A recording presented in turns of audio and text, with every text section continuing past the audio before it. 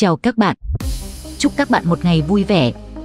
Chúng ta cùng đến với chuyện ngôn tình mê vợ không lối về, một chuyện khá đặc sắc ở thể loại ngôn tình. Chương 51, cha ra manh mối. Người phụ nữ kia trượt chân, suýt chút đã rơi xuống, sức lấy tiếng thét chói tai ở bên dưới. Sống hay chết chỉ là trong nháy mắt. Mẹ chồng của cô ta cũng giật cả mình, ngồi tại chỗ gào khóc. Lâm Tử Lạp cũng đơ người mất một lúc, máu trên người như đông lại. Bình tĩnh lại một lát, cô mới tìm thấy giọng nói, chỉ cần cô chịu đi xuống, tiền cô mua nhà, tôi cho cô. Rõ ràng người phụ nữ không tin cô, cô đừng hòng lừa tôi đi xuống, tôi sẽ không tin cô đâu. Tôi không lừa cô, tôi thật sự sẽ cho cô, cô không nghĩ cho mình, cũng không nghĩ cho đứa nhỏ trong bụng mình hay sao? Lâm Tử Lạp tiếp tục khuyên bảo.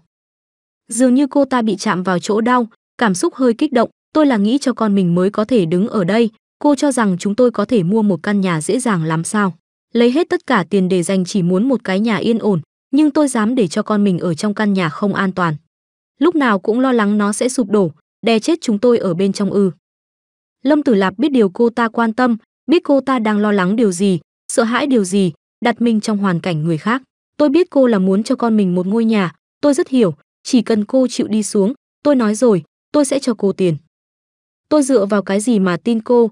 Nếu tôi đi xuống, cô không đưa cho tôi thì phải làm sao? Người phụ nữ vẫn không chịu bỏ qua.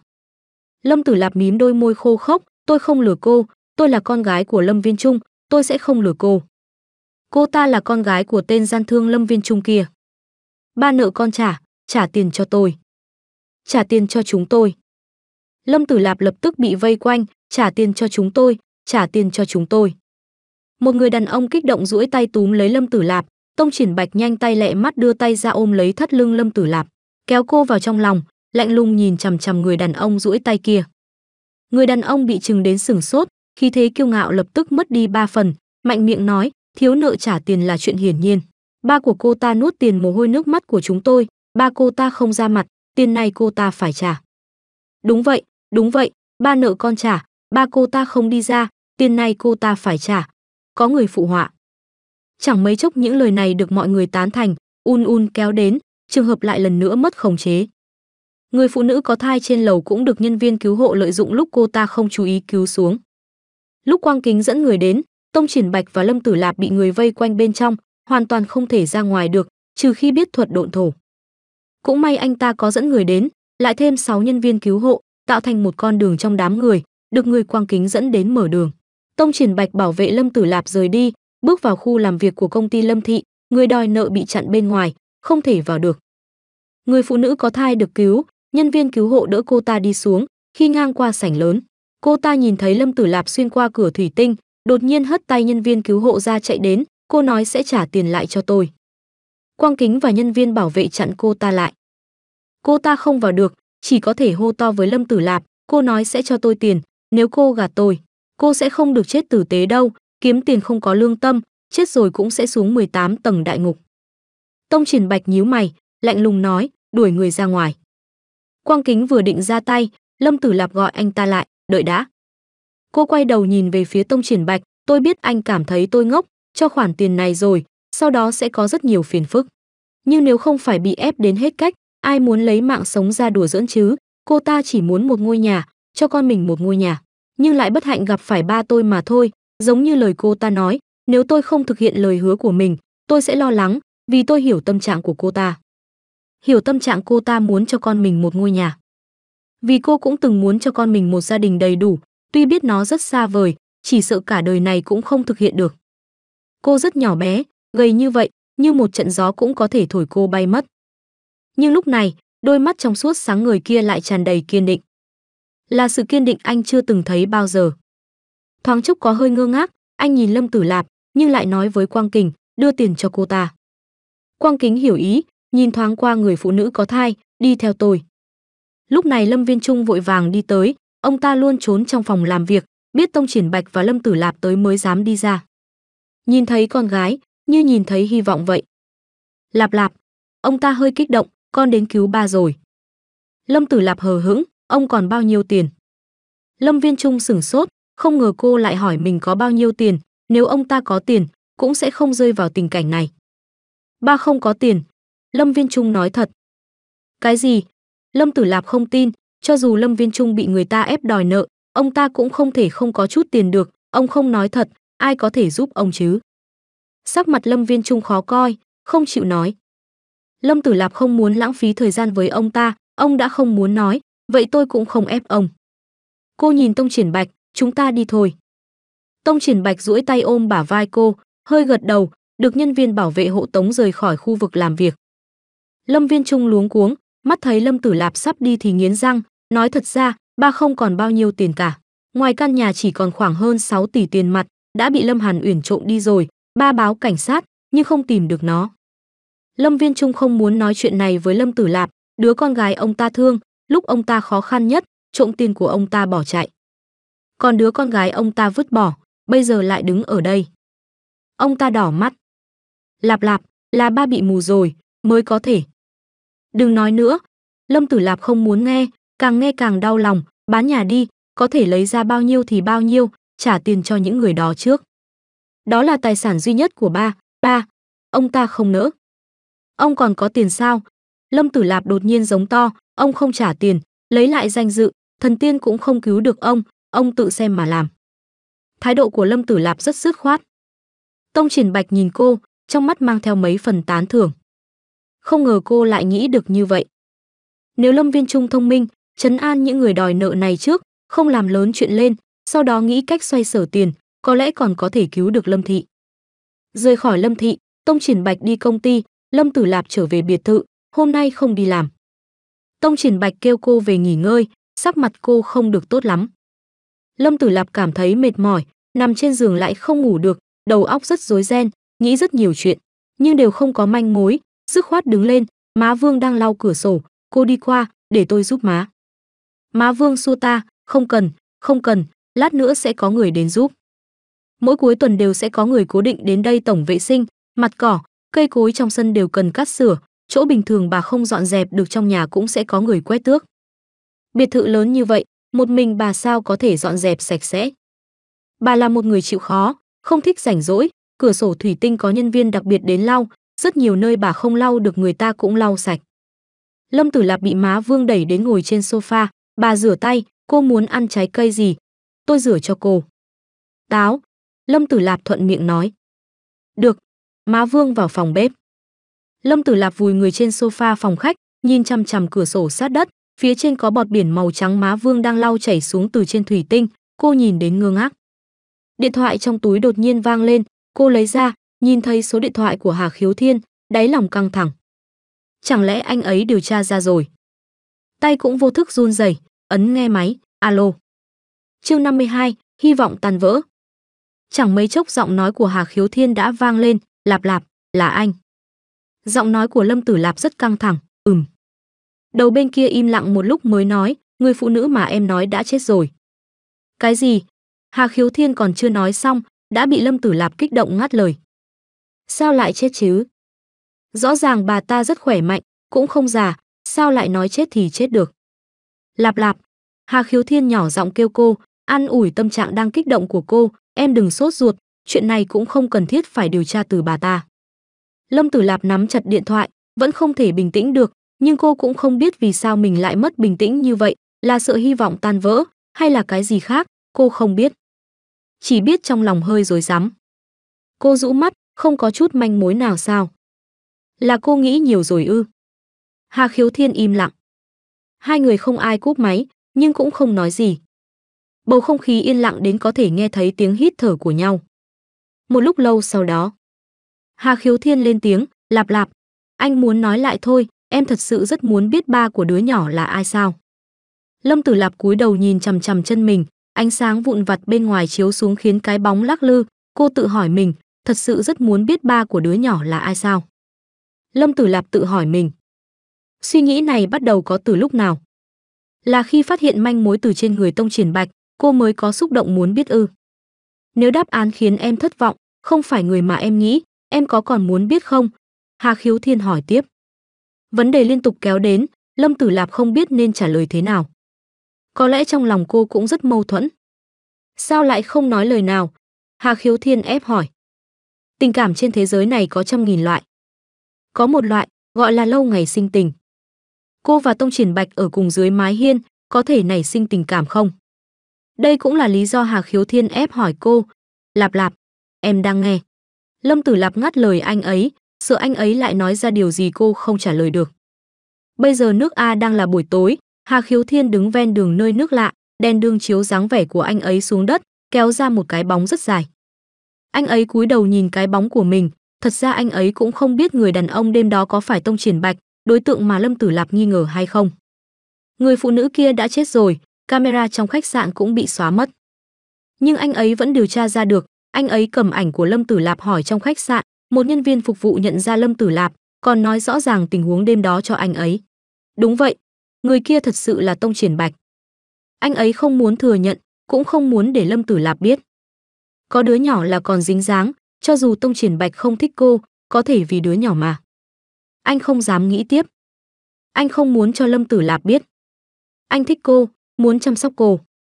Rõ ràng là anh gặp được cô trước. Lúc cô vẫn là một đứa nhỏ, anh đã gặp cô rồi.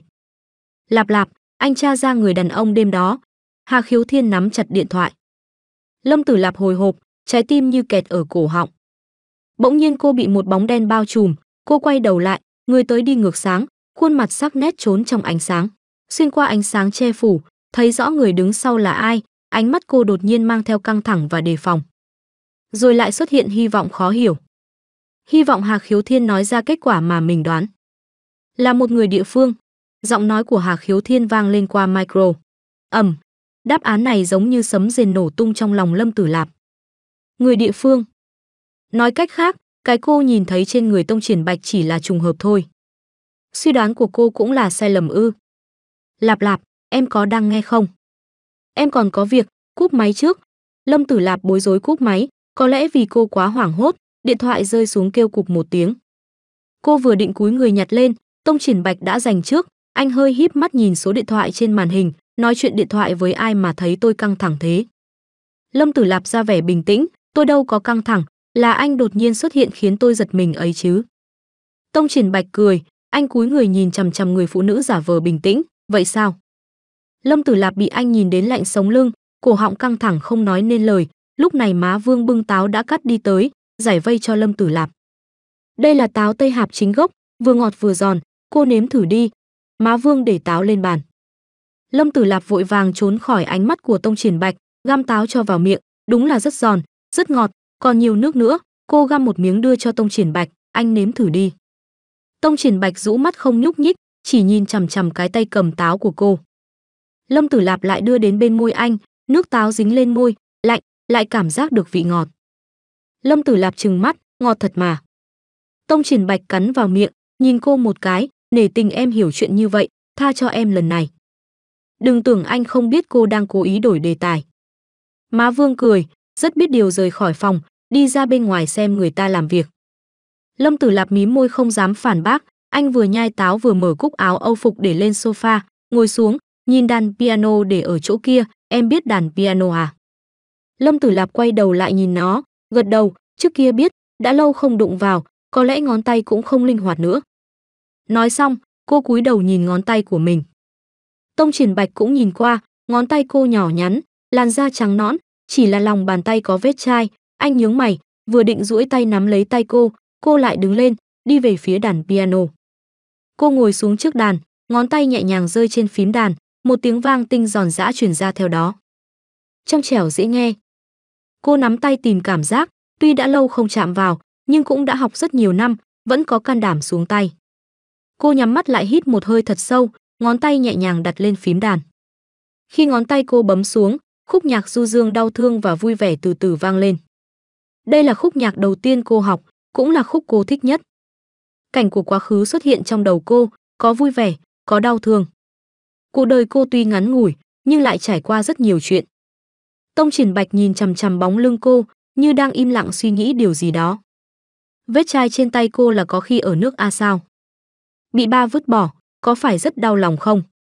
Anh nghĩ đến ngơ ngác, đột nhiên bị một tiếng chuông điện thoại cắt ngang, hình như anh không vui vì tiếng chuông không thích hợp này, nhíu chặt mày, Lâm Tử Lạp nghe thấy âm thanh, dừng động tác trên tay lại. Bầu không khí lập tức trở nên yên tĩnh. Tiếng chuông điện thoại càng thêm rõ ràng. Lâm Tử Lạp đứng dậy đi tới, tò mò vì sao anh không nghe máy. Đi đến, đã nhìn thấy tên trên điện thoại, Tần Lộ Khiết. Lâm Tử Lạp ngồi xuống đối diện anh, là cô Tần, sao lại không nghe? Tông Triển Bạch nhìn cô, như đang chê cô nói nhiều. Đương nhiên không muốn nghe mới không nghe. Mà người điện thoại rất có kiên nhẫn, anh không nghe nó cứ mãi reo lên, reo đến khi anh nghe mới chịu bỏ qua. Lâm Tử Lạp cười, là sợ tôi nghe hai người nói chuyện sao?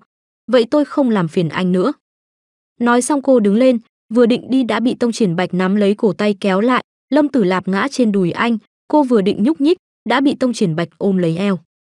Tay kia thì nghe điện thoại. Chương 53, sinh non. Lâm Tử Lạp nhíu mày, anh nghe điện thoại của Tần Lộ Khiết thì ôm mình làm gì? Để mình nghe bọn họ lời ngon tiếng ngọt sao? Tâm trạng cô tự nhiên trở nên nặng nề, dùng sức tránh né, cô càng tránh Tông Triển Bạch ôm càng chặt, nhỏ giọng, "Đừng nhúc nhích." Lâm Tử Lạp còn muốn nhúc nhích nữa, môi của Tông Triển Bạch đã dán bên tai cô, hơi ý cảnh cáo, "Ngoan một chút để tôi nghe điện thoại nhé." Lâm Tử Lạp không dám nhúc nhích nữa, yên tĩnh lại trong giọng nói trầm khàn của anh. Tông Triển Bạch cong môi, tựa như rất vừa lòng vì Lâm Tử Lạp im lặng, ngón tay anh lơ đãng sờ thịt trên lưng cô cách một tầng vải.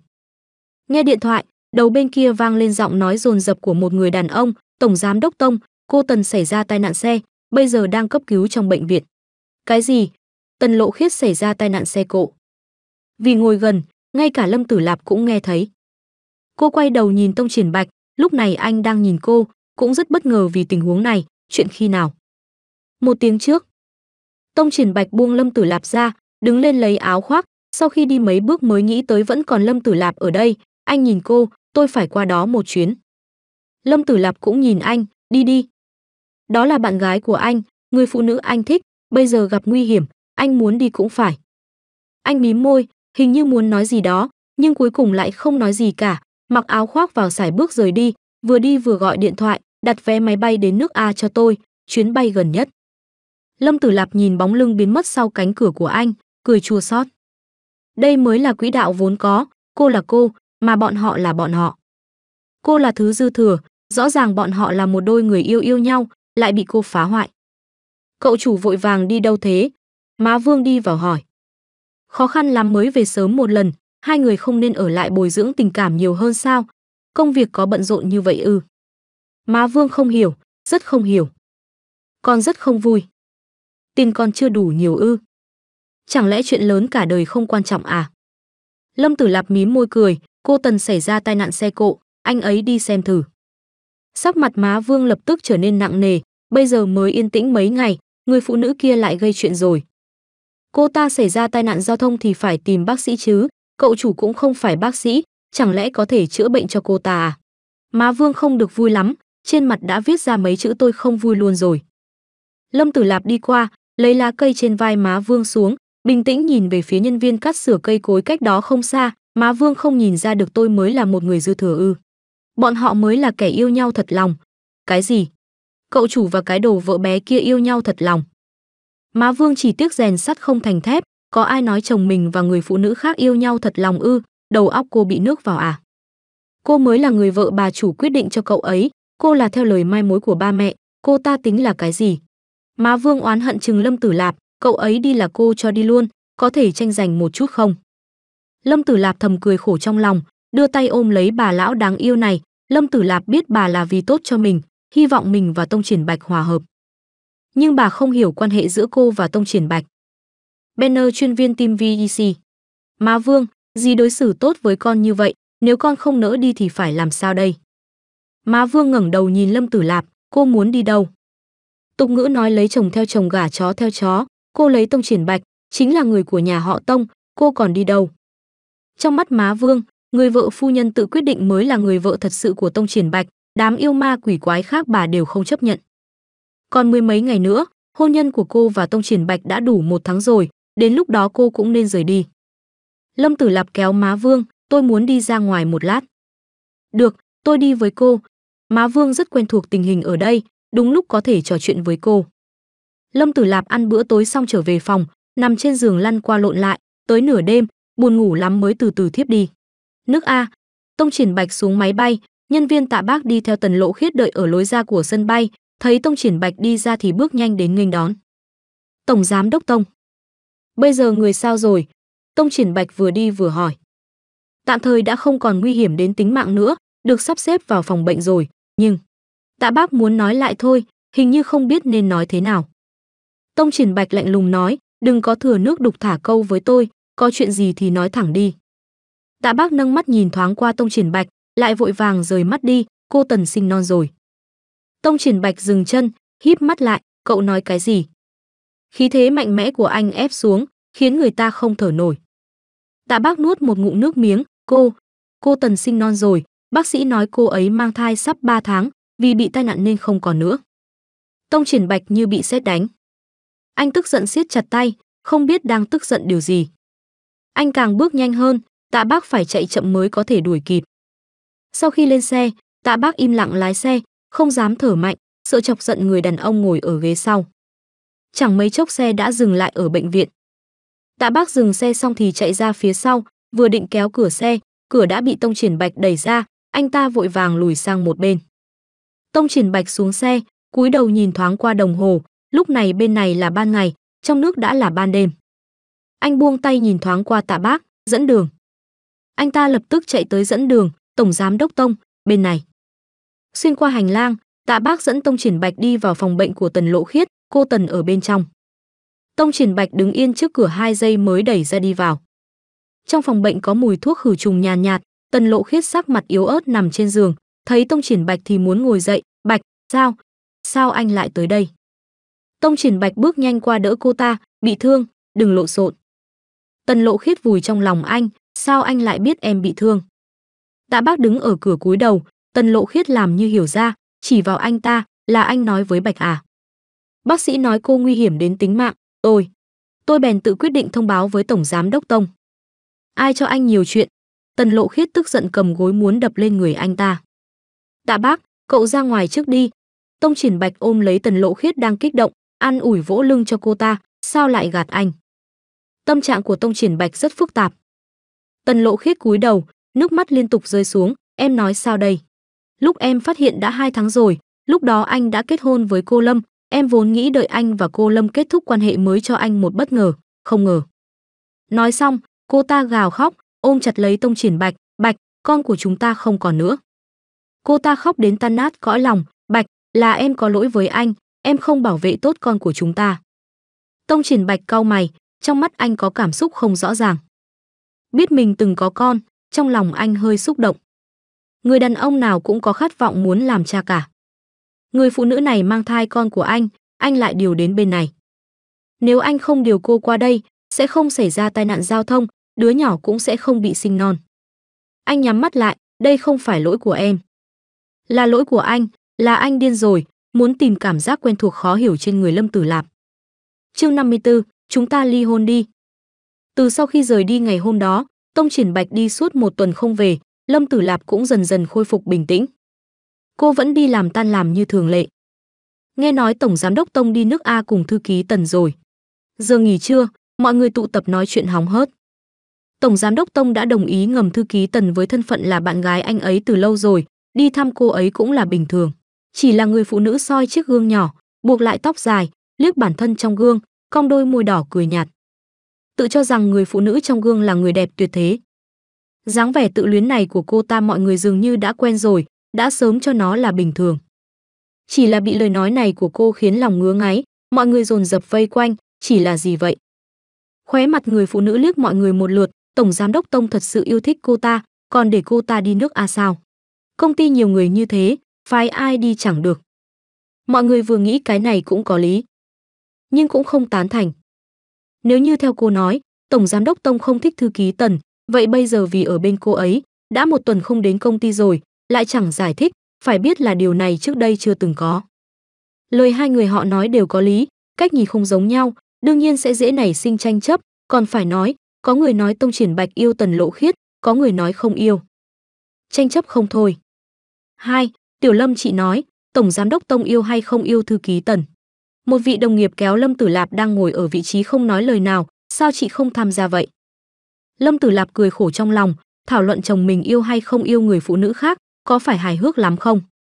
Đồng nghiệp kéo, lắc Lâm Tử Lạp, chị nói gì đi chứ? Lâm Tử Lạp bất lực, nói ra suy nghĩ của mình, chị không biết, chị vào công ty muộn, không biết rõ việc của họ lắm, Chị nghĩ chắc là thích nhỉ, không thích thì sao lại thừa nhận thân phận của cô ấy chứ? Yên tĩnh mất mấy giây, dường như lời của cô ấy nói cũng có lý, nếu như Tông Triển Bạch không yêu Tần Lộ Khiết, vì sao lại thừa nhận thân phận của cô ấy chứ? Thấy chưa, tôi biết ngay là tổng giám đốc Tông yêu thư ký Tần mà. Họ cứ liên thuyên không dừng, Lâm Tử Lạp mượn cớ đi rót nước, tránh khỏi bọn họ, thời gian nghỉ chưa kết thúc, mọi người đều giải tán, Lâm Tử Lạp mới quay về vị trí làm việc. Cả ngày nay Tông Triển Bạch vẫn không về. Ở công ty nghe xong chuyện ngoài lề của các đồng nghiệp, Lâm Tử Lạp chỉ muốn yên tĩnh một chút, ai ngờ vào đến nhà, má Vương lại lải nhải. Sao cậu chủ lâu như vậy rồi vẫn chưa về? Lâm Tử Lạp cảm thấy đau đầu, cô day day chán, má Vương tưởng cô không khỏe, bước lên hỏi, có phải bị ốm rồi không? Lâm Tử Lạp lắc đầu, không ạ. À. Vậy cô? À. Lâm Tử Lạp bỗng ngửi thấy mùi tanh, nhíu mày nhìn má Vương, cô mua cá ạ. Má Vương gật đầu, chỉ món ăn trên bàn, lúc nãy cô đi siêu thị về, buổi tối làm cá cho cháu ăn. Bà còn chưa nói hết câu, Lâm Tử Lạp đã bịt miệng chạy vào nhà vệ sinh nôn khan. Má Vương nhanh chóng đi theo, đứng bên cạnh cửa, nhìn Lâm Tử Lạp, cháu, không phải cháu mang thai rồi đấy chứ. Tuy nói Lâm Tử Lạp và Tông Triển Bạch vẫn luôn ở riêng, nhưng đêm kết hôn đó, bọn họ ngủ cùng một phòng. Lỡ như một lần là có thì sao đây? Má Vương hơi vui mừng nhỏ, đi, chúng ta đến bệnh viện. Có con rồi, thì kẻ thứ ba, thứ tư gì đó đều phải đứng ngoài cửa. Lâm Tử Lạp lắc đầu, không cần đâu ạ, à, cháu, dạ dày không tốt lắm. Vậy cũng phải đi. Thái độ của má Vương rất kiên quyết, bà chỉ tin tưởng bác sĩ. Má Vương, Lâm Tử Lạp vùng tay, má Vương không buông, cô cũng là muốn tốt cho cháu.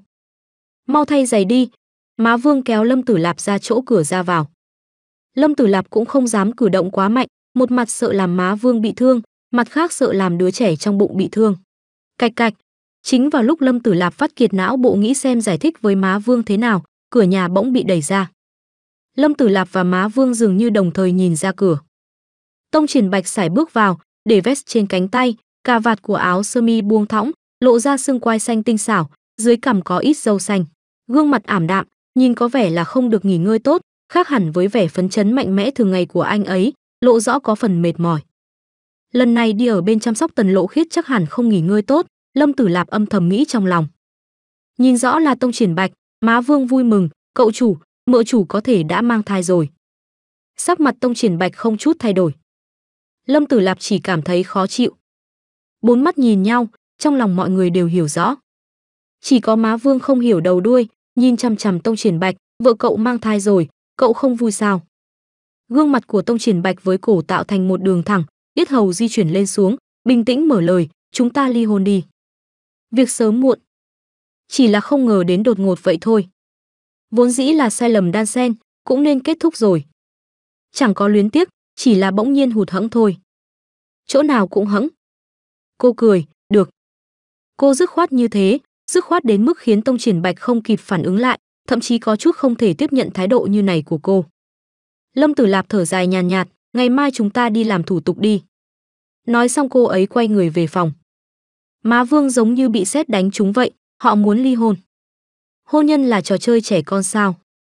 Cậu chủ, cậu, cậu muốn ly hôn. Má Vương cảm thấy nhất định là tai mình xuất hiện ảo giác. Nếu không làm sao lại đột ngột nói ly hôn, hơn nữa hai người còn bình tĩnh như vậy. Tôi mệt rồi. Đối với việc này Tông Triển Bạch không hề muốn nói nhiều, nói xong đi lên lầu. Má Vương ngây người một hồi, lúc hoàn hồn quay người nhìn chăm chú vào bóng lưng của Tông Triển Bạch, đây chắc là hôn sự mà ba mẹ hồi còn sống sắp đặt cho cậu. Bước chân Tông Triển Bạch dừng lại giây lát, rất ngắn ngủi anh ấy tiếp tục bước chân, dẫm lên cầu thang lên lầu.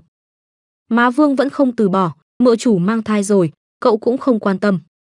Dầm, một tiếng, cửa phòng đóng lại, Tông Triển Bạch đang âm thầm thể hiện sự bất mãn của mình. Đứa trẻ trong bụng Lâm Tử Lạp không phải của anh, không phải. Nếu như phải, có lẽ anh cũng sẽ không tức giận như vậy. Con của anh chết rồi, chết rồi. Má Vương cũng bị dọa một trận, anh rất ít khi nổi giận ở nhà. Đêm này Lâm Tử Lạp dường như không ngủ, cô độc một mình ngồi ở đầu giường, trên chiếc bàn bên cạnh dựng chiếc vali đã thu dọn xong, vốn dĩ cũng chẳng nhiều đồ. Chỉ mấy bộ quần áo và một vài vật dụng hàng ngày. Trời sáng, cô thay quần áo, đi ra khỏi phòng, Tông Triển Bạch cũng đúng lúc vừa thức dậy, ăn mặc chỉnh tề bước xuống, khác hẳn với anh ngày hôm qua. Bộ vest phẳng phiu vừa vặn, ôm trọn thân hình cao lớn của anh, bóng dáng như một chàng bạch mã hoàng tử bước ra từ chuyện cổ tích. Cao quý, điển trai, sức hút khó so. Ánh mắt dao động trong không khí, đều rất bình tĩnh. Lâm Tử Lạp mở lời trước, bây giờ vẫn còn sớm, ủy ban chắc vẫn chưa mở cửa, tôi có việc ra ngoài một chuyến. Lúc nói xong cô lại nhìn thời gian, 9 giờ tôi về, anh có thời gian không? Cô ấy phải ra ngoài tìm nơi ở trước, Tông Triển Bạch đột ngột đề nghị ly hôn, cô còn chưa kịp chuẩn bị, việc này là cô sơ suất, phải tìm một con đường lui tốt trước đã. Tông Triển Bạch bước xuống, đi ủy ban, tôi sẽ bảo Quang Kình đi làm. Nói xong đi về phía cửa lớn. Lâm Tử Lạp tự cười châm biếm, sao cô lại có thể quên chứ, làm giấy kết hôn cũng là Quang Kình đưa cô đi, Tông Triển Bạch chưa từng xuất hiện, ly hôn, lại hà cớ gì bắt anh ấy đích thân đi. Hôn nhân của họ nhìn có vẻ như là trời định, từ nhỏ đã định hôn ước, còn đợi chờ duyên phận gì nữa.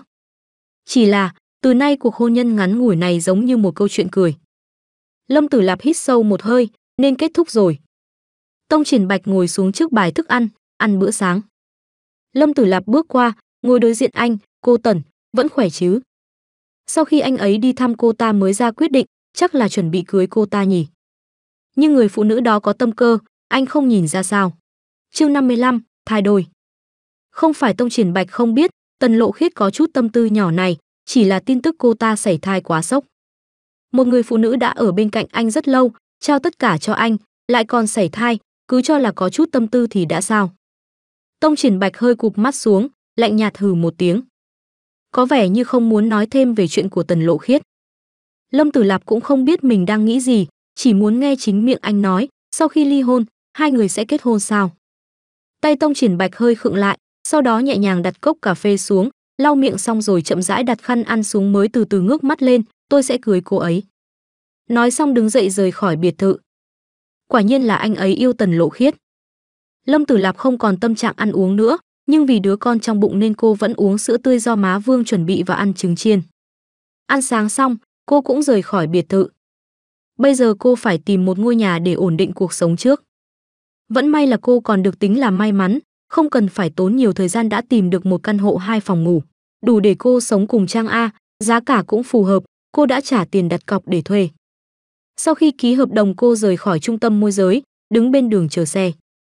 Cô lấy điện thoại di động ra xem giờ, đã 8 giờ 50 phút, 10 phút nữa là 9 giờ rồi, cô sợ không về kịp nên hơi sốt ruột, nhưng chỗ này không dễ bắt xe, lúc gần 9 giờ Lâm Tử Lạp mới chặn được một chiếc taxi. Vừa lên xe, cô gọi điện thoại về biệt thự, má Vương nghe điện, nếu trợ lý Quang đến nhà, dì bảo anh ấy đợi cháu, cháu sẽ về ngay. Cô không muốn bị người ta hiểu lầm là cô không muốn ly hôn hay là đang chỉ hoãn thời gian. Má Vương đồng ý, Lâm Tử Lạp cút điện thoại, vừa muốn cất điện thoại vào túi thì nhạc chuông cuộc gọi lại vang lên, là Hà Thiếu Khiên gọi đến. Cô nghe điện, giọng anh rất nhanh truyền đến, "Lạp Lạp, em ở đâu? Anh đến tìm em, anh quay về rồi." Lâm Tử Lạp nhìn ra ngoài cửa sổ xe, cô đang ở bên ngoài, lát nữa còn phải đi cùng với Quang Kình đến ủy ban, hiện tại không có thời gian để gặp anh, vì vậy cô nói, em sẽ gọi cho anh sau. Cô chưa kịp nói xong thì lái xe đã bẻ lái, lúc đi qua ngã tư thì một chiếc xe tải lớn lao đến, như thể mất kiểm soát, lao thẳng về phía xe của họ. Đồng tử của Lâm Tử Lạp co rút mạnh, trong mắt phản chiếu khuôn mặt dữ tợn của người lái xe tải. Lạp lạp, ầm. Hai ô tô va chạm phát ra tiếng động lớn, bởi vì chiếc xe tải chạy quá nhanh nên chiếc taxi đã bị đâm lật ngửa lộn vài vòng, bánh xe lật ngược treo lơ lửng trên giải đai xanh. Chiếc xe tải cũng bị va chạm văng xa hàng chục mét, tông vào một biển quảng cáo rất lớn trước rồi mới dừng lại. Lạp lạp điện thoại rơi bên ngoài, vẫn đang vang lên. Giọng của Hà Thiếu Khiên hiển nhiên đặc biệt gấp gáp, tiếng động rất lớn vừa rồi đã giải thích chuyện gì xảy ra. Mặt Lâm Tử Lạp đầy máu, cô không nhìn rõ mọi thứ xung quanh, đau, rất đau, toàn thân đều đang đau đớn. Không, cô không thể bất tỉnh, cô còn con, cô không thể chết được. Cô cố gắng chịu đựng nỗi đau to lớn, hét lên, có ai không, cứu tôi với. Giọng cô rất yếu ớt. Có vài người dân tốt bụng đã giúp gọi cảnh sát và xe cấp cứu đến giải cứu những người trên xe. Cứu tôi với. Ý thức của Lâm Tử Lạp dần dần mơ hồ, giọng cô càng ngày càng nhỏ, nhỏ đến mức không ai có thể nghe thấy. Sau đó cô hoàn toàn ngất đi. Lúc tỉnh dậy, chóp mũi nồng nặc mùi thuốc khử trùng. Thấy cô tỉnh, Hà Thiếu Khiên kích động nắm tay cô, em tỉnh rồi.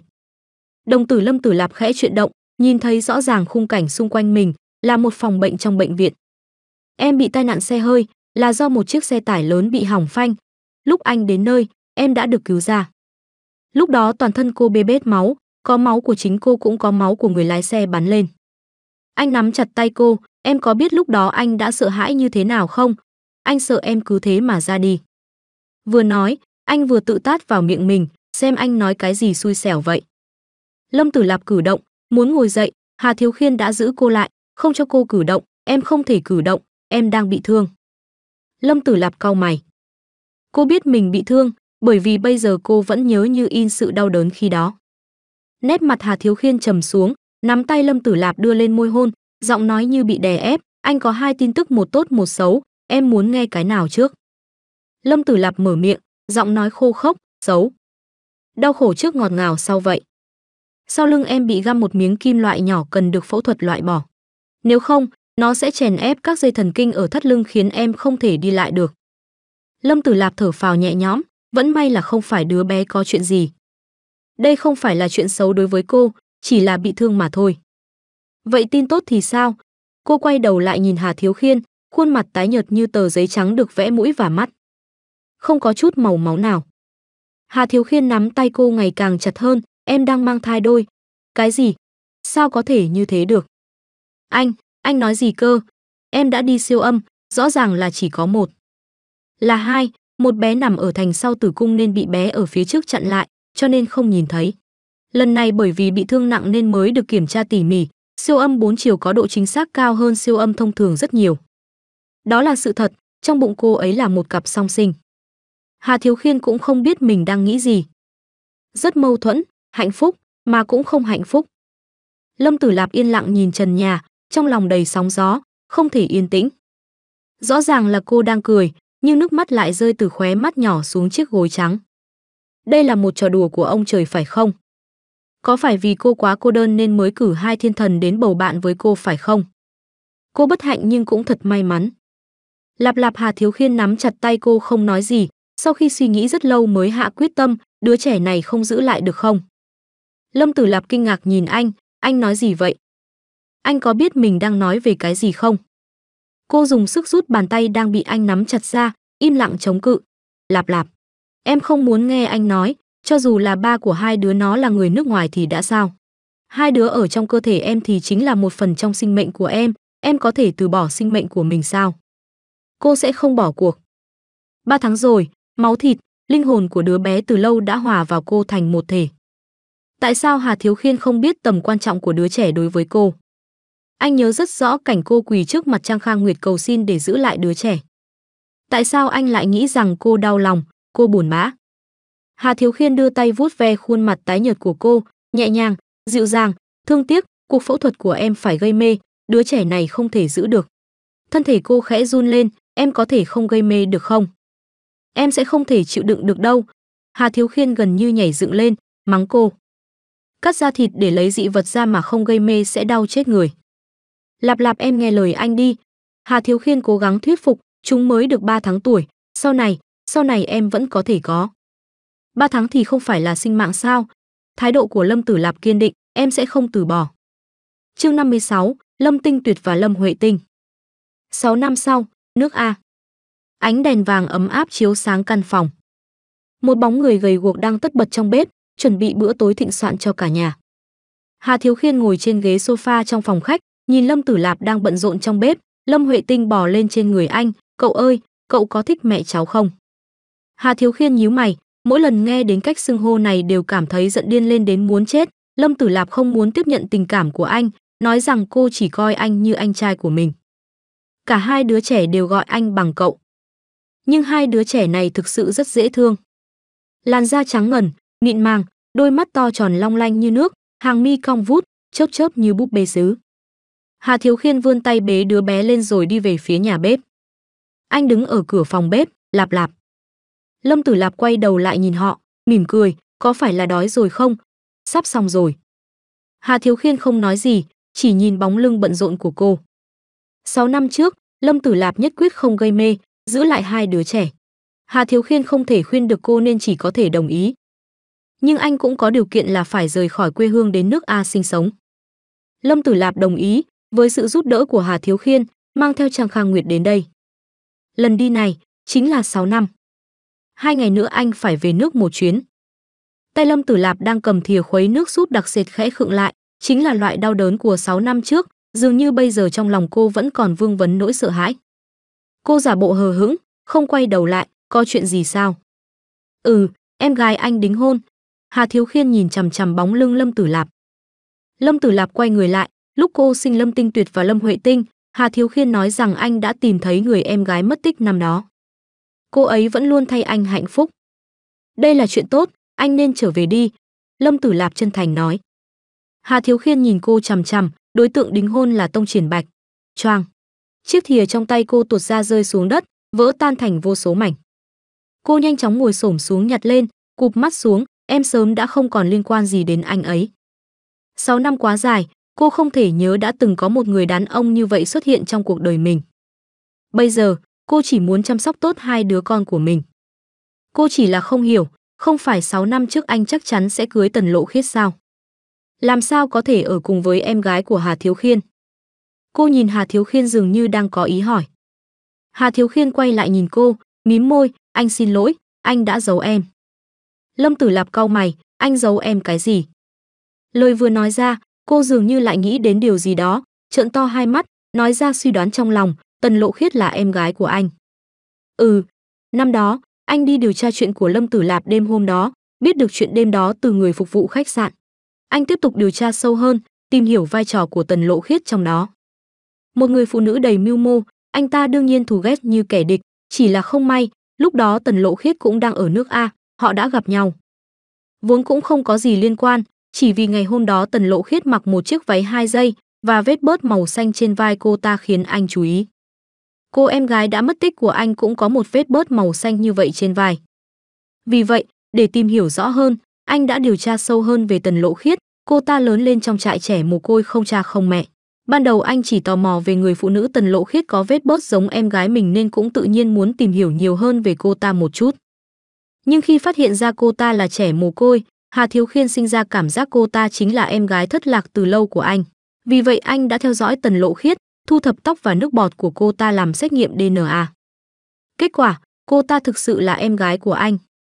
Anh biết bí mật của em gái mình, biết cô ta thích Tông Triển Bạch. Vì vậy, vẫn luôn không nói với Lâm Tử Lạp. Hà Thiếu Khiên đặt Lâm Huệ Tinh xuống để cô bé tự chơi trong phòng khách.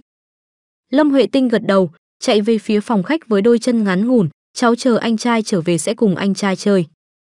Cháu chậm chút kẻo bị đập vào đâu. Hà Thiếu Khiên đỡ lấy con bé, đi từ từ thôi. Lâm Huệ Tinh bĩu môi, tỏ vẻ không vui. Hà Thiếu Khiên buông cô bé ra, nheo nheo cái mũi nhỏ của cô, ngoan nào. Nói xong, anh xoay người bước vào phòng bếp, ngồi xổm xuống bên cạnh Lâm Tử Lạp, vươn tay nắm lấy tay cô, để anh trai chăm sóc cho em không tốt sao? Em có hai đứa con. Anh không quan tâm. Em quan tâm. Lâm Tử Lạp ngẩng đầu nhìn anh, cô sẽ không để con mình phải ăn nhờ ở đậu người khác. Cô biết gia cảnh của Hà Thiếu Khiên, một gia đình như vậy không thể chấp nhận một người phụ nữ như cô. Hơn nữa, cô đã hứa với bà Hà rằng cô sẽ không bao giờ ở bên anh. Cô mỉm cười rút tay về, anh ra phòng khách đi. Bữa tối đã chuẩn bị xong rồi. Hai bàn tay trống rỗng, trái tim của Hà Thiếu Khiên cũng trùng xuống. Trước đây có thể là anh tìm thấy bóng dáng của em gái trên người cô nhưng 6 năm chung sống đã khiến anh phải lòng người phụ nữ gan dạ và bướng bỉnh này. Hà Thiếu Khiên không hiểu tại sao cô lại từ chối mình, kiên quyết từ chối thẳng thừng như vậy. Em, có phải là em có người em thích rồi nên mới từ chối anh phải không? Hà Thiếu Khiên suy đoán trong lòng hỏi, người đó là Tông Triển Bạch. Bên cạnh cô cũng chỉ xuất hiện một người đàn ông này mà thôi. Không có. Lâm Tử Lạp nhanh chóng đáp lại, như muốn chứng minh mình nói thật, nếu không phải anh nhắc tới, em đã quên người này từ lâu rồi. Vậy em? Mẹ! Lâm Huệ Tinh chạy vào ôm cổ Lâm Tử Lạp, mẹ ơi, khi nào thì anh trai và bà ngoại của con sẽ về? Lâm Huệ Tinh đi vào làm gián đoạn cuộc trò chuyện với Hà Thiếu Khiên. Vừa hay Lâm Tử Lạp cũng không muốn nói về chủ đề này. Cô ngẩng đầu lên liếc nhìn thời gian, vươn cánh tay bế Lâm Huệ Tinh lên, 6 giờ 30 phút tan học, bây giờ đã 6 giờ 20 phút rồi, chắc là sắp về thôi. Lâm Tử Lạp đặt cô bé xuống, ngoan, phòng bếp nguy hiểm. Cô xòe tay ra cho Lâm Huệ Tinh nhìn, con nhìn tay mẹ này, có bẩn không? Lâm Huệ Tinh chớp chớp mắt, bẩn. Vậy thì con có nghe lời mẹ không? Nghe ạ. À. Đứa nhỏ bất bình lẩm bẩm, Lâm Tử Lạp thở dài, hôn lên trán cô bé một cái, tối nay mẹ tắm cho con nhé. Hai mắt Lâm Huệ Tinh sáng lên, được ạ. À? Vì Lâm Tử Lạp ban ngày đi làm còn ban đêm thì đi học nên không có thời gian chăm sóc cho hai đứa trẻ. Đều là Trang Kha Nguyệt đã lo lo lắng tắm rửa cho chúng. Bệnh tình của Trang Kha Nguyệt đã được kiểm soát bởi sự điều trị tỉ mỉ của Hà Thiếu Khiên, chỉ cần không bị kích thích thì cũng giống như là người thường. Có thể giúp Lâm Tử Lạp chăm sóc con cái, Lâm Tử Lạp cũng có thời gian học tập, chuyên ngành trước đây của cô là thiết kế thời trang. Sau vài năm làm việc và học tập chăm chỉ, cô đã lấy được bằng tốt nghiệp và vào leo làm việc. Cô rất có tài ở khía cạnh này, những bộ váy cô thiết kế đã giành được nhiều giải thưởng. Cô còn thiết kế váy cưới cho con gái của vị lãnh đạo quốc gia nước A. Lúc đó, cô đã khiến người dân cả nước ngạc nhiên. Hiện giờ cô đã trở thành nhà thiết kế chính của Leo và còn sở hữu cả cổ phần. Đến giờ ăn tối, Trang Kha Nguyệt mang theo Lâm Tinh Tuyệt về nhà. Lâm Tinh Tuyệt mới hơn 5 tuổi, nhưng có trí nhớ siêu phàm và khả năng tính toán tốt, cực kỳ nhạy bén với các con số, cậu bé có thiên phú nên Lâm Tử Lạp đương nhiên muốn bồi dưỡng. Nhưng bản thân cậu bé cũng có ý chí phấn đấu, vậy mà đã vượt qua kỳ thi của Đại học AC. AC là trường đại học nổi tiếng hàng đầu thế giới trong lĩnh vực máy tính. Chip điện tử và hệ thống xử lý mà nơi này nghiên cứu phát triển ra đã phổ biến trên thế giới từ lâu. Còn Lâm Huệ Tinh lại không có thiên phú gì, không có gì khác những đứa trẻ bình thường nhà khác, nhưng lớn lên lại mềm mại dễ thương. Nhìn thấy Lâm Tinh Tuyệt trở lại, Lâm Huệ Tinh vui vẻ chạy về phía anh, anh. Chương 57, yêu thích của người đàn ông với phụ nữ. Lâm Tinh Tuyệt mặc một chiếc áo len cổ tim màu nâu nhạt, bên trong là một chiếc sơ mi trắng, quần thể thao, giày thể thao màu trắng. Cơ thể nho nhỏ đứng thẳng tắp, cậu bé có khuôn mặt xinh đẹp, môi hồng răng trắng, sống mũi cao, mái tóc đen nhánh hơi quăn, dáng vẻ nhỏ nhắn vô cùng đẹp trai. Cậu bé xoa đầu em gái, "Tiểu Huệ, có nghe lời mẹ không?" Lâm Huệ Tinh gật mạnh đầu một cái, vô cùng sùng bái anh trai, rõ ràng hai người chỉ hơn kém nhau vài phút, nhưng Lâm Tinh Tuyệt lại lộ trưởng thành hiểu chuyện hơn rất nhiều. Lâm Huệ Tinh trưng ra dáng vẻ giống hệt em gái hàng xóm, vừa ngây thơ vừa đáng yêu. Lâm Tử Lạp đã sớm bưng cơm tối lên bàn, được rồi, rửa tay ăn cơm. Hà Khiếu Thiên đi đến, giơ tay ôm lấy Lâm Tử Lạp kéo anh lại, anh, anh đi ăn cơm, em đi rửa cho bọn chúng. Anh giúp em. Hà Khiếu Thiên cũng không vì chủ đề vừa rồi mà xa cách với Lâm Tử Lạp. Bác sĩ Hà, để Lạp Lạp làm, cậu ngồi xuống trước đi. Trang Khang Nguyệt đi đến khách sáo nói. Hà Khiếu Thiên đành phải ngồi xuống bàn ăn trước, Trang Khang Nguyệt cầm một chai rượu đi đến trước bàn ăn, kéo ghế ra ngồi xuống. Bà thoáng nhìn về phía nhà vệ sinh, chắc chắn Lâm Tử Lạp không nghe thấy mình nói chuyện, mới nhìn Hà Khiếu Thiên nói, những năm gần đây, tôi thay Lạp Lạp cảm ơn cậu. Nói xong bà rót cho Hà Khiếu Thiên một ly rượu, cũng tự rót cho mình một ly, rượu tây không cay họng bằng rượu trắng. Uống vào cũng coi như ấm áp, bà uống hết rượu trong ly, tôi hy vọng nó có thể ở bên cậu, nhưng con bé Lạp Lạp này tính tình ngang bướng. Bây giờ lòng dạ đều đặt lên người hai đứa bé, vì thế, cậu cũng đã lớn tuổi rồi, có người thích hợp thì lập gia đình đi. Bác gái, cháu còn muốn bác khuyên nhủ cô ấy giúp cháu đấy. Hà Khiếu Thiên nhìn rượu trước mặt, cũng không uống. Sao Trang Kha Nguyệt lại chưa khuyên nhủ chứ?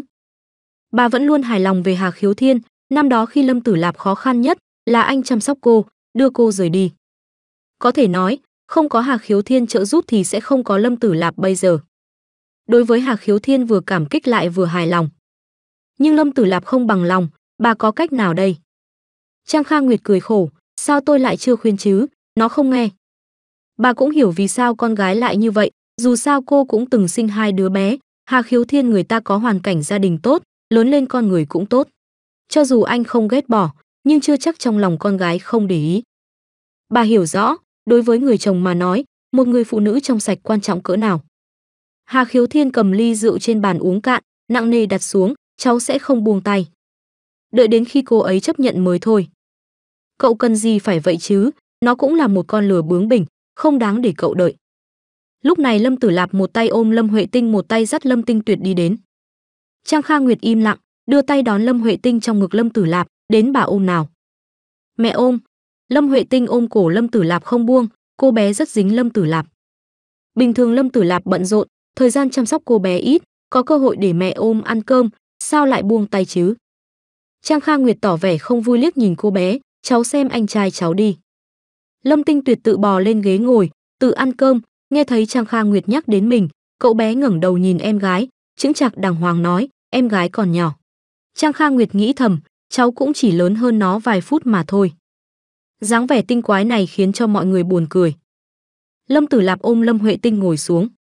Ăn cơm xong Hà Khiếu Thiên muốn trở về, Trang Khang Nguyệt đón nhóc con trong ngực Lâm Tử Lạp, con đi tiễn bác sĩ Hà đi.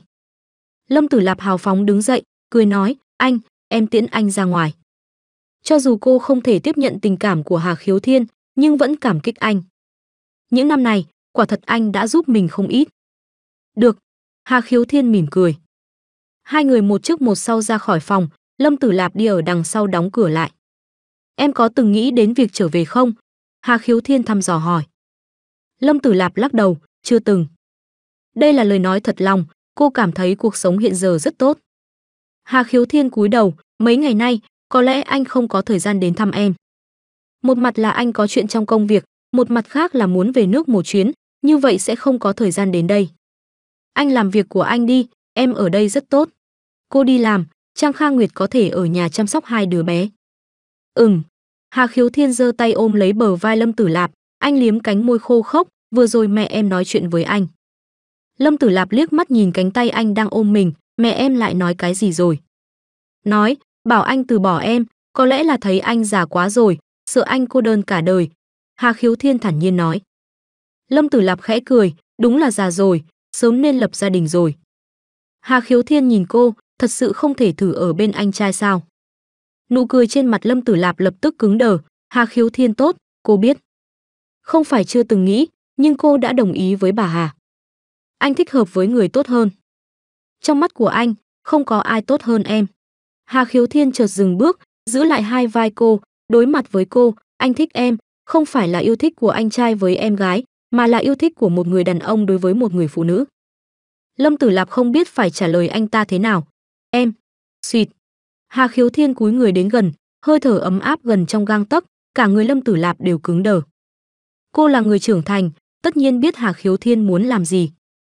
Ngay khi Hà Khiếu Thiên sắp hôn lên bờ môi mình, cô nghiêng đầu, môi Hà Khiếu Thiên dán lên má cô, anh cũng không tức giận, cười, được rồi, thử trước xem có dị ứng không, nếu không lần sau lại hôn anh.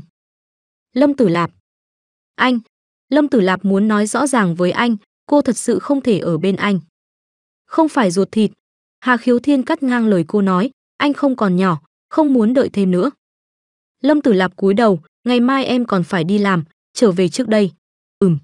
Lâm Tử Lạp xoay người trở về, Trang Kha Nguyệt đang dọn dẹp nhà bếp, nghe thấy tiếng mở cửa thì biết là Lâm Tử Lạp, nói, hôm nay không cho mẹ tắm giúp, muốn con tắm cho cơ, con có thời gian không? Có. Lâm Tử Lạp đi đến phòng tắm mở nước ấm, tắm rửa cho hai đứa bé.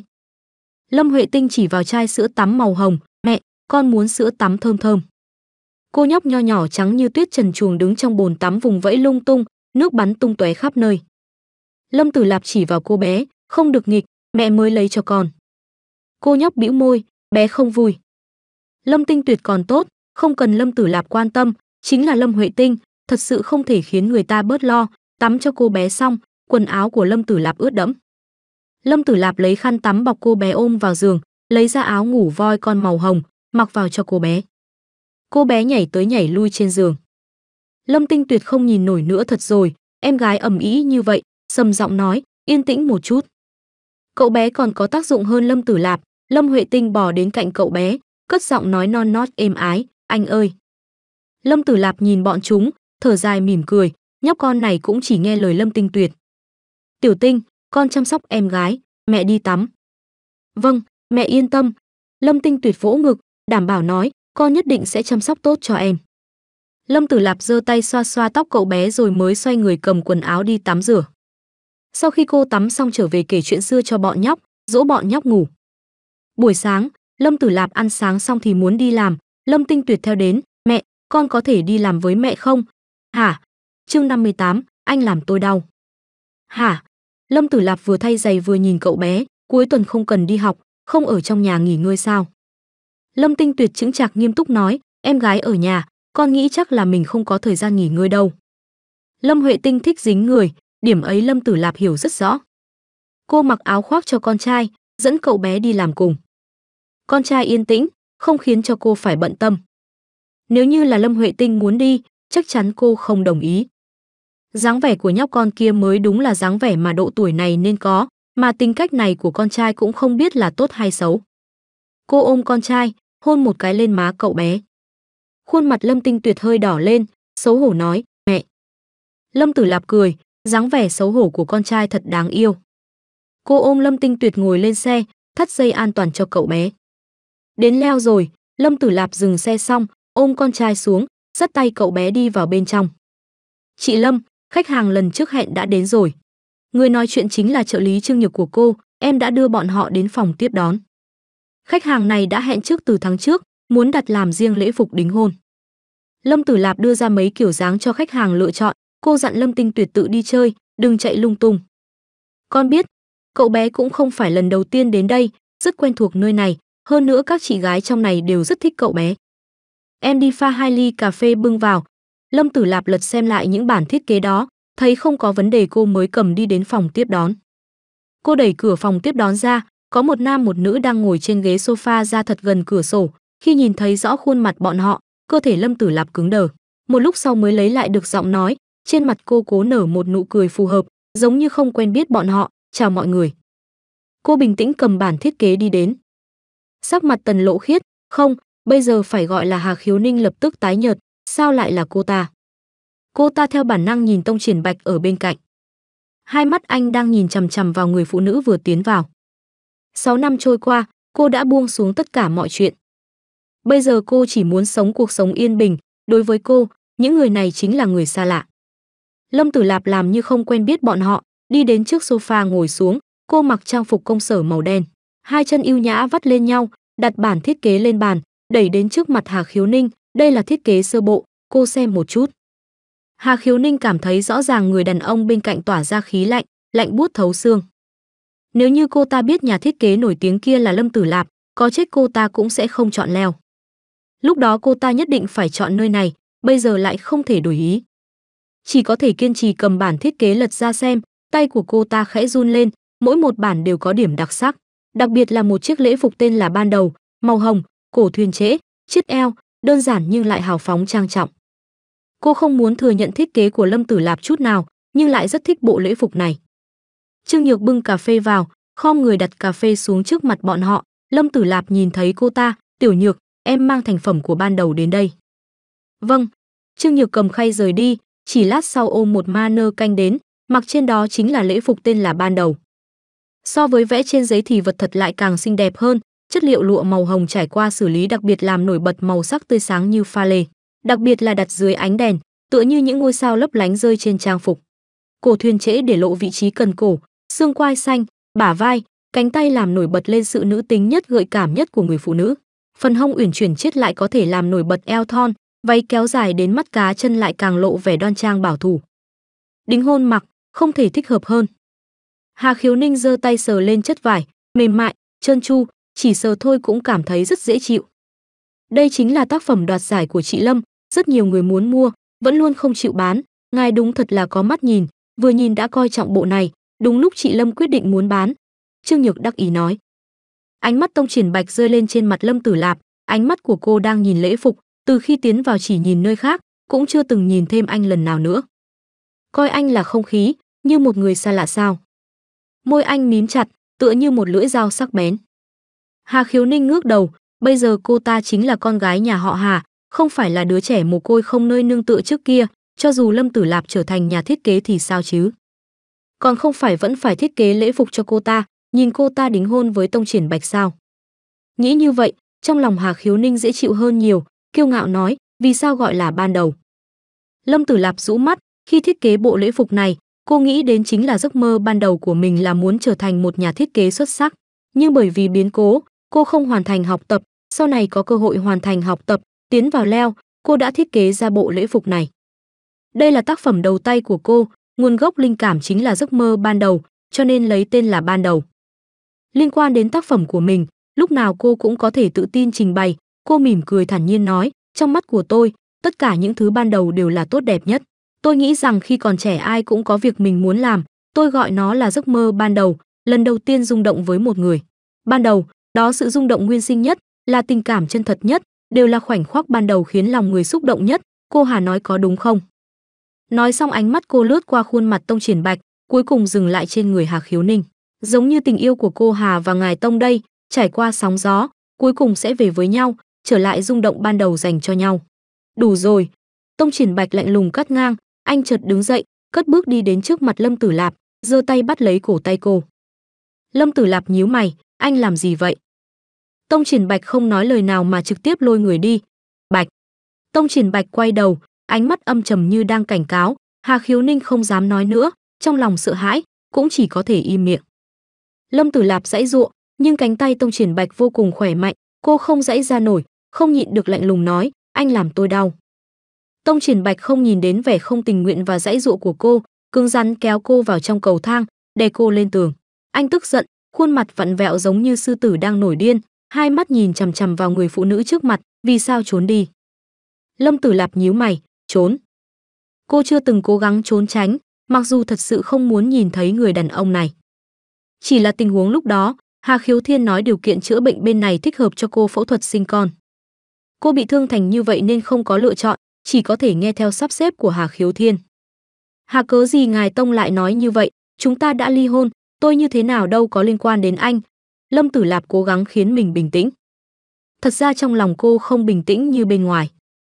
Cô không muốn thừa nhận, trong cuộc sống của cô, người đàn ông chỉ xuất hiện trong thời gian ngắn ngủi này khiến cho tâm trạng bình tĩnh của cô khẽ gợn sóng.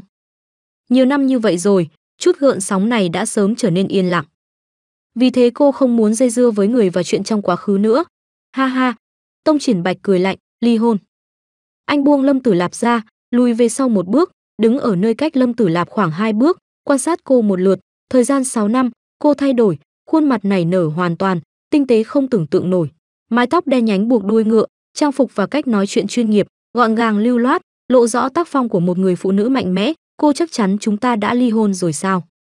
Trong lòng Lâm Tử Lạp hơi hồi hộp, ngày đó lúc cô đang muốn trở về làm giấy chứng nhận ly hôn, cô bị tai nạn xe cộ, sau đó lại được Hà Khiếu Thiên dẫn đến bên này.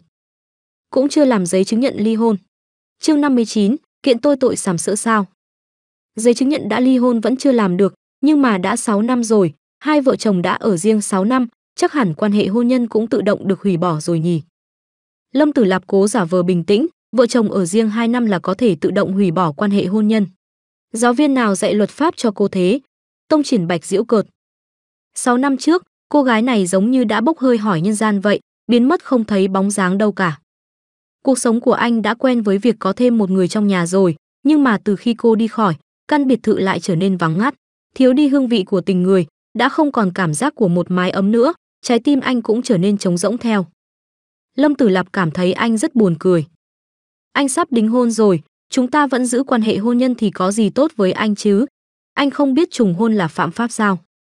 Tông Triển Bạch nghe thấy thế cũng không tức giận, anh vẫn ung dung nhìn cô như trước. Cô vẫn nhanh mồm nhanh miệng giống hệt trước đây. Lâm Tử Lạp bị anh nhìn đến mức căng thẳng, trái tim cô giống như có một tảng đá vô hình đè lên vậy, hai tay thì không ngừng run rẩy, tôi còn có việc phải làm. Vừa nói xong cô đã muốn chạy trốn ngay khỏi không gian chật trội này.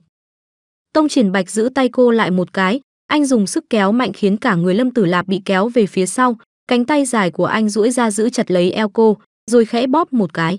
Cả người cô đã dán chặt lên người anh không thừa chút khe hở nào cả, cách một lớp vải vóc, cô cũng có thể cảm nhận được cơ thể nóng bỏng của anh, cả tiếng trái tim đang đập mạnh mẽ kia nữa. Lâm Tử Lạp trừng mắt lườm anh, cả người cứng ngắc, cô không dám lộn xộn, chỉ dùng giọng nói nghiêm túc nói, anh thả tôi ra, cẩn thận tôi kiện anh nó Tông Triển Bạch nhéo vào cổ tay cô, rồi đặt tay cô lên trên quần áo mình, đôi mắt anh hơi híp lại trong mắt có một tầng hơi nước, anh cất giọng khàn khàn, kiện tôi tội gì? Không chờ Lâm Tử Lạp trả lời, anh lại tiếp tục nói, kiện tôi sảm sỡ cô sao? Lâm Tử Lạp còn chưa kịp phản ứng lại, thì cả người anh đã đè lên người cô, một tay anh giữ chặt gáy rồi hôn xuống môi cô. Hơi thở vẫn quen thuộc như xưa, khiến anh mê muội không thể tự kiềm chế nổi. Lâm Tử Lạp hít thở không thông, trong nháy mắt từ cổ đến mặt cô đều đỏ ửng lên, giống như bị lửa đốt vậy, vô cùng nóng bỏng. Lúc này cô cảm thấy trái tim mình như muốn chui ra khỏi lồng ngực vậy, nhưng cô vẫn cố gắng ép mình phải tỉnh táo. Cô đè xuống trái tim đang nhảy lên điên cuồng của mình, rồi há miệng ra cắn mạnh vào đôi môi đang làm loạn trên môi cô. Tông Triển Bạch bị đau, nên hơi thả lỏng một chút, Lâm Tử Lạp chớp lấy thời cơ đẩy anh ra. Sau đó cô xoay người chạy trốn. Tông Triển Bạch bị cô đẩy lùi lại phía sau một bước, anh nhìn theo bóng lưng đang hốt hoảng chạy trốn, rồi đưa tay lên lau khóe môi một cái, trên mu bàn tay có vệt máu đỏ tươi. Cô gái này lại dám cắn anh, trước kia cô đâu có như vậy. Đầu lưỡi lướt trên kẽ răng, mùi hương của cô vẫn còn lưu lại trong miệng, còn cả mùi máu tươi kia nữa, anh khẽ nuốt hết vào trong. Bạch, Hà Khiếu Ninh run run rẩy rẩy đứng ở đầu cầu thang. Nhìn dáng vẻ này của cô ta chắc hẳn cô ta đã trông thấy cảnh vừa rồi. Tông Triển Bạch ngước mắt lên, hoàn toàn không thèm để ý đến cảm nhận của cô ta, mà hé môi nói, hủy bỏ việc đính hôn, tôi sẽ không lấy cô. Hà Khiếu Ninh nghe thấy thế thì hoảng hốt, cô ta lao đầu về phía trước nắm lấy cảnh tay anh, Bạch, đây là chuyện hai nhà đã bàn bạc kỹ rồi, hơn nữa việc này cùng là ý của ba anh. Tông Triển Bạch vứt tay cô ta ra không khách khí chút nào, có thể do Tông Triển Bạch dùng quá nhiều sức, nên Hà Khiếu Ninh bị đẩy một cái đã lui về phía sau vài bước, nếu như không phải do sau lưng cô ta có bức tường thì nhất định cô ta đã ngã xuống đất. Về phía ba tôi, tôi sẽ tự mình nói rõ. Tông Triển Bạch không có ý định muốn đỡ cô ta dậy, nói xong câu đó thì anh cất bước đi ngay. Hà Khiếu Ninh ôm chặt lấy cổ chân Tông Triển Bạch khóc lóc, "Bạch, đã nhiều năm như vậy rồi, vì sao không thể tha thứ cho em?" Tông Triển Bạch nhắm mắt lại, nói rất dứt khoát lạnh lùng, "Lúc cô lừa tôi, thì cô nên nghĩ đến hậu quả." 6 năm trước cô ta nói cô ta sảy thai, anh cho rằng đó là sự thật, mặc dù không muốn nhưng anh vẫn phải chịu trách nhiệm với cô ta. Nhưng mà, cô ta lại lừa anh. Cô ta vốn chưa từng có thai. Đây cũng là lý do vì sao 6 năm trước anh không cưới cô ta. Lần này chẳng qua là vì quan hệ thông gia giữa các gia tộc mà thôi. Do ông Tông ra lệnh cho anh. Nếu không có Lâm Tử Lạp, thì anh cũng bằng lòng chấp nhận mệnh lệnh này, nhưng mà bây giờ thì anh không đồng ý. Bạch, em sai rồi, anh tha thứ cho em một lần thôi có được không?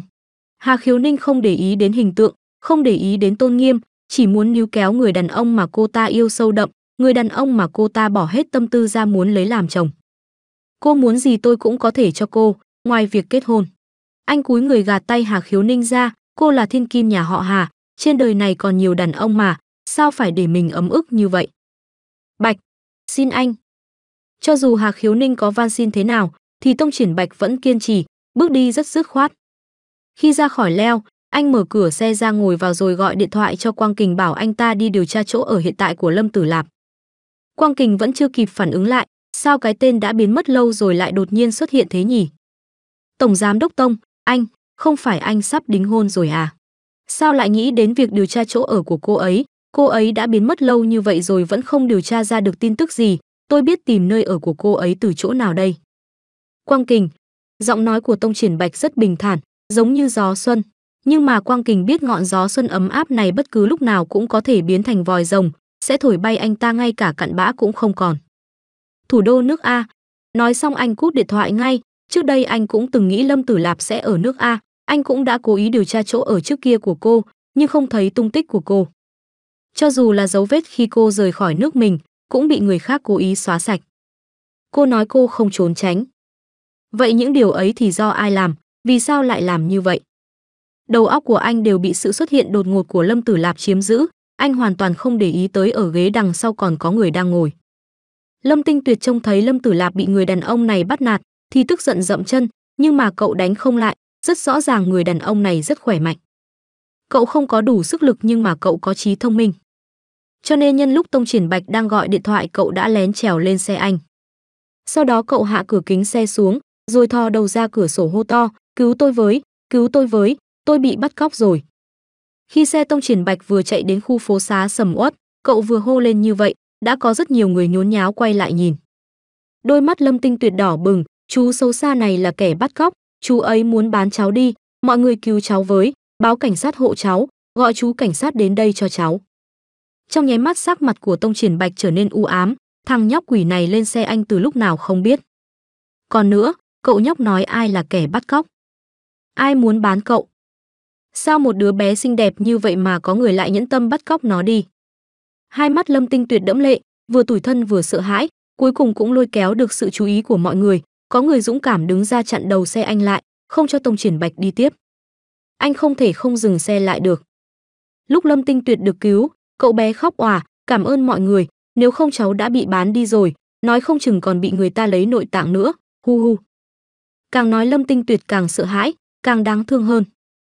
Loại người này không bằng cả heo chó, kẻ buôn người, ở bất kỳ quốc gia nào đều là đối tượng bị người khác phỉ nhổ. Nhìn bên ngoài cũng tử tế đấy, hóa ra lại là bọn buôn người. Phí hoài vẻ ngoài tốt như vậy. Tông triển bạch mắng chửi xối xả, hơn nữa còn không ai chịu nghe anh giải thích. Đã cho rằng anh là người xấu. Dù sao thì người trách móc anh chính là một đứa bé, lại còn là đứa trẻ rất đáng yêu nữa. Tất nhiên mọi người sẽ không nghi ngờ lời nói của một đứa trẻ. Tông Triển Bạch bị cảnh sát bắt về đồn, Lâm Tinh Tuyệt cũng bị đưa đến cục cảnh sát để điều tra tình hình. Lâm Tử Lạp đang tự ra mình trong phòng, bởi vì sự xuất hiện đột ngột của Tông Triển Bạch khiến trái tim cô lâu nay vẫn bình tĩnh, lại nổi lên sóng gió. Cô chống tay dưới cằm, đang nghĩ xem có nên đến tìm nhà họ An lần nữa không. Cô không muốn bị quấy rầy. Reng reng. Bỗng nhiên chiếc điện thoại đang đặt trên bàn rung lên.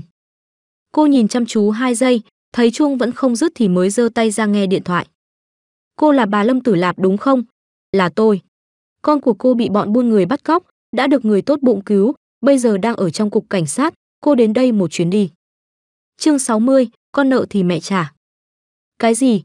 Lâm Tinh Tuyệt bị bắt cóc. Lâm Tử Lạp nghe thấy thế thì đứng phát dậy, động tác của cô quá nhanh, nhanh đến mức chân va phải ngăn kéo cô cũng không cảm thấy đau. Cô chỉ lo lắng cho sự an nguy của con trai mình. Sự lo lắng và sợ hãi chiếm hết toàn bộ lồng ngực cô, hàng ngày đứa bé kia đều tỏ ra trưởng thành hơn so với bạn cùng lứa, nhưng mà dù sao vẫn là một đứa bé. Cô phóng như bay chạy ra khỏi leo ngồi vào trong xe rồi đi thẳng.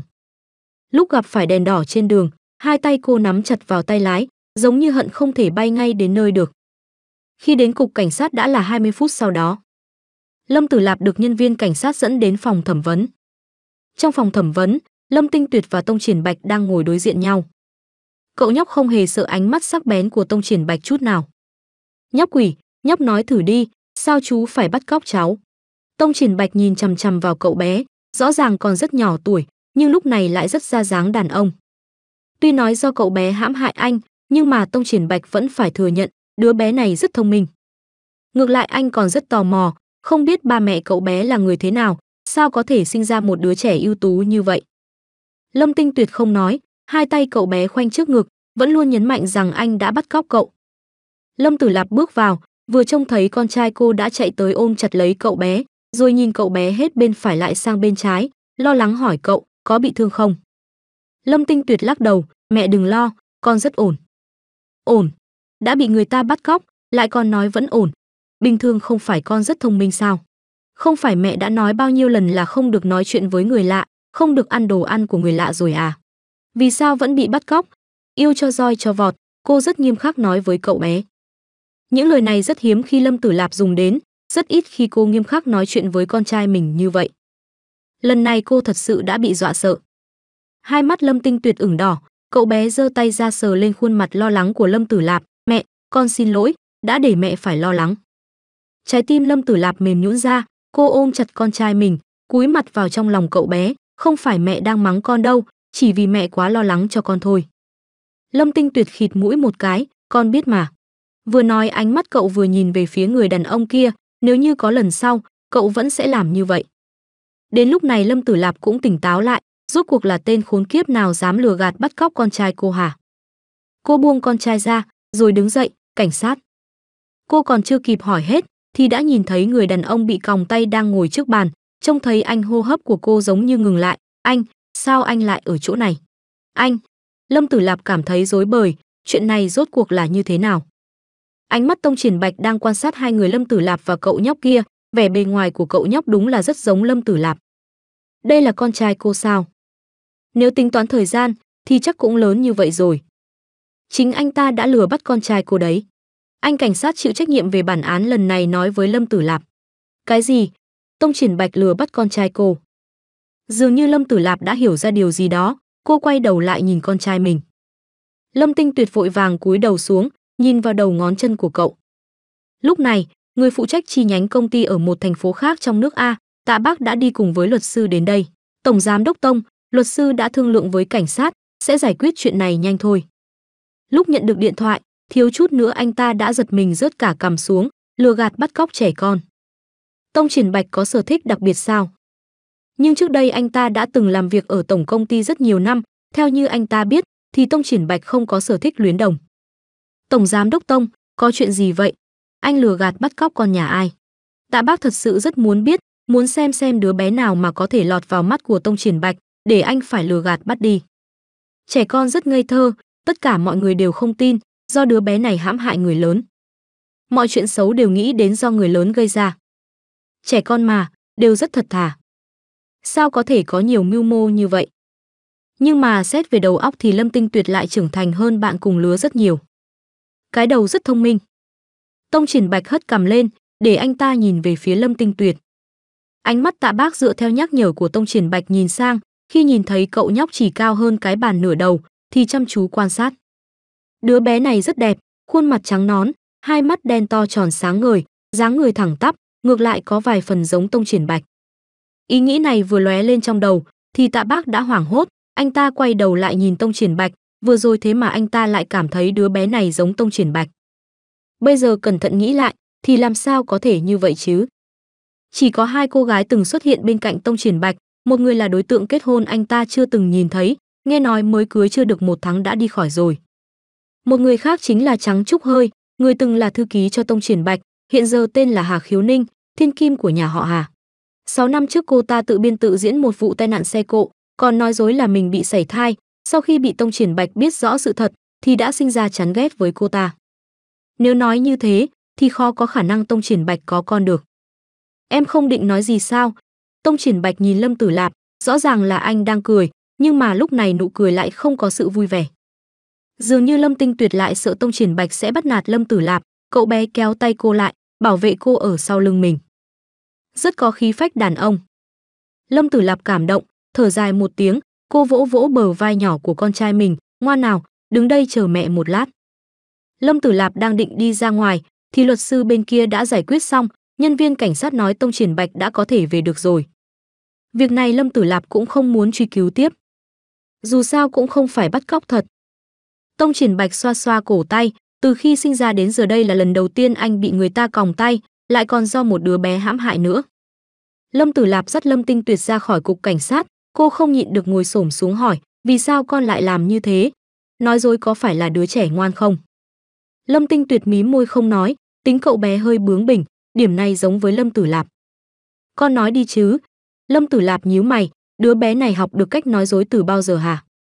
Lại còn nói dối chuyện lớn như vậy, làm âm ý đến mức phải vào cục cảnh sát. Lâm Tử Lạp tức giận thở hổn hển, nhưng mà vẫn không nỡ đánh cậu bé cái nào, con muốn mẹ tức chết có phải không? Lâm Tinh Tuyệt nắm chặt tay lại, đột nhiên hét to, chú ấy là đồ lưu manh, vì sao con không thể làm cho cảnh sát bắt chú ấy? Lâm Tử Lạp sững sờ, cậu bé, cậu bé đang nói gì? Bàn tay nhỏ bé của Lâm Tinh Tuyệt bá đạo lau miệng cho Lâm Tử Lạp, con không muốn chú ấy hôn mẹ. Chú ấy là người xấu, là kẻ cướp, kẻ lưu manh, chú ấy bắt nạt mẹ nên con ra tay dạy dỗ chú ấy. Tông Triển Bạch vừa ra khỏi cục cảnh sát thì nghe thấy những lời đánh giá không ngừng của Lâm Tinh Tuyệt đối với mình. Lần đầu tiên anh nghe thấy có người mắng chửi mình trôi chảy như vậy. Hai người vào trong xe chờ tôi. Tông Triển Bạch đi xuống bậc thang, nhóc quỷ. Lâm Tử Lạp ôm con trai mình vào trong ngực bảo vệ cậu bé. Cô cảnh giác nhìn Tông Triển Bạch, nó vẫn còn bé, hơn nữa anh cũng không sao cả, anh đừng so đo nữa. Tông Triển Bạch khẽ cười, lần đầu tiên từ khi sinh ra đến giờ tôi nhận được niềm vui như thế, đều do thằng nhóc quỷ này ban tặng, em muốn tôi không so đo sao?